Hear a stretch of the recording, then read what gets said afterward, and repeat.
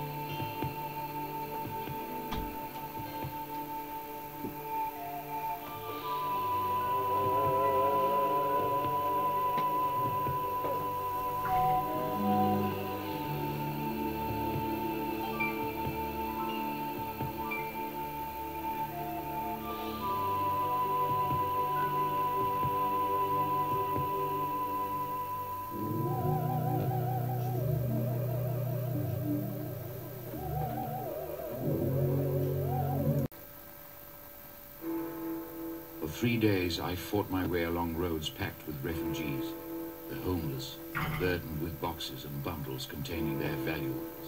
All that was of value to me was in London.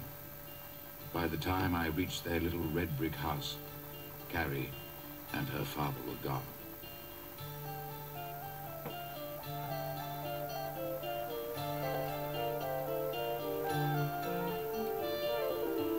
The sun fading as the year grows old, and darker days are drawing near.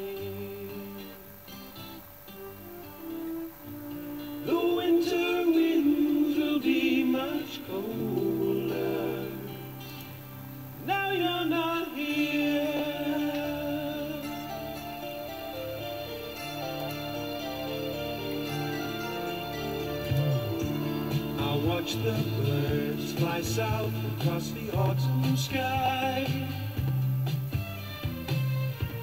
And one by one they disappear.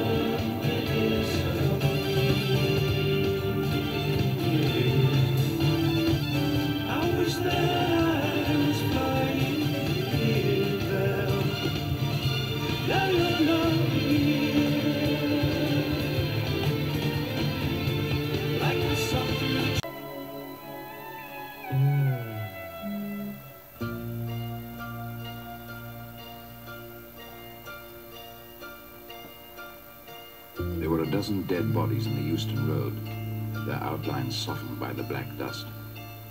All was still. Houses locked and empty, shops closed. But looters had helped themselves to wine and food. And outside a jeweller's, some gold chains and a watch were scattered on the pavement.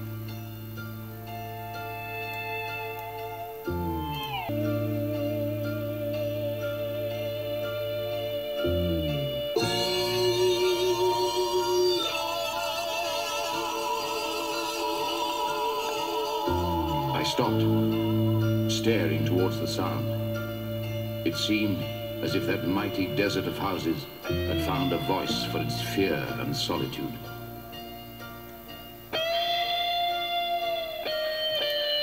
Exorably towards that cry.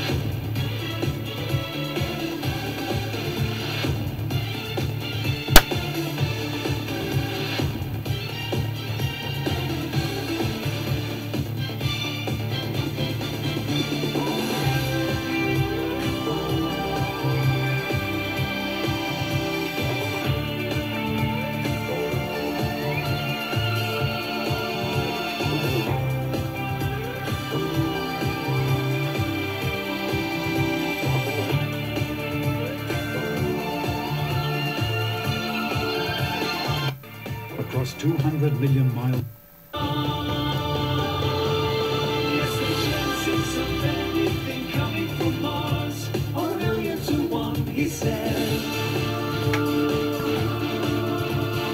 Chances of anything coming from Mars are